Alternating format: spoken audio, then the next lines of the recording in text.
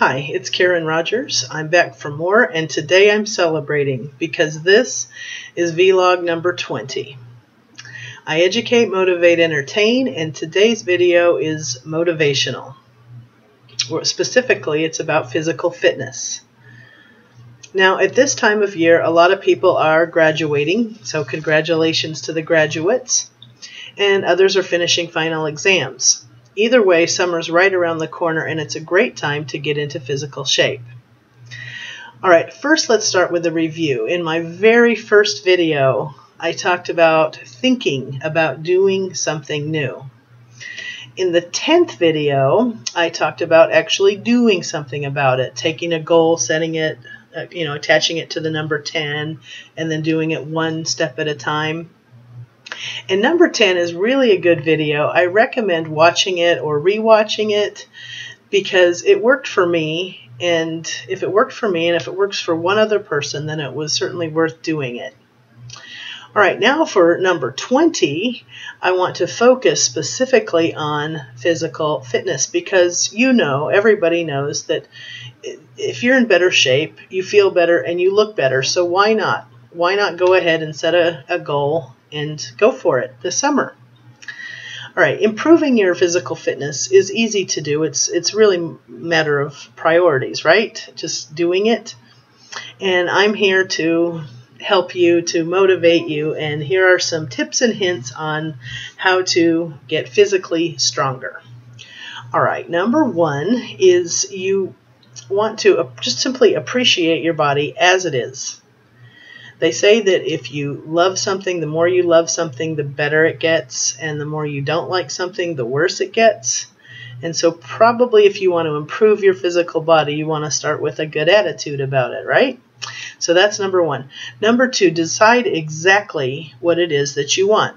Maybe you want to lose five pounds before the 4th of July, or lift more weight by a certain particular time. Whatever it is for you, set an exact goal of exactly what you want to accomplish. All right, number three, once you know and what it is that you want to accomplish, know that nothing can stop you, that it can be done and you can do it. Number four, I would start small and work up because it's those small accomplishments that build up the momentum. Um, maybe just if you want to lose five pounds, start by losing one and feel good about that and then go for the next and go for the next. Or maybe if you have trouble getting out the door exercise for 1 minute today and then 2 minutes tomorrow. And just start really small to get you started and then build. Number 5 it should be something that you enjoy.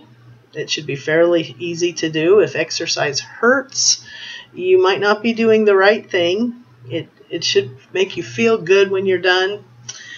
Right, number six, something that always works for me is watching Rocky Four. Whenever I watch that movie, I just want to go work out. Or uh, Rocky Four montage, which you can find on RatchetRogers.com.